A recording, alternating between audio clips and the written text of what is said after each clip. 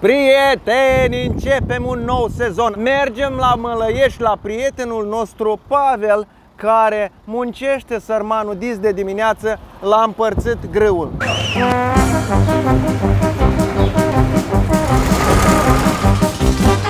Am ajuns.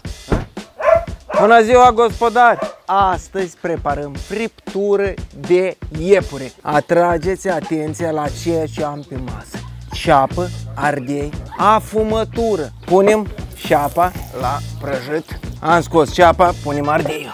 Aromatizăm grăsimea. Pieptul de porc îl punem bine peste tot. Aranjăm cărnița pe foc. Piper, sare. Acum adăugăm toate astea. Ia priviți Как тебе такое, Илон Маск? Hai la mâncare!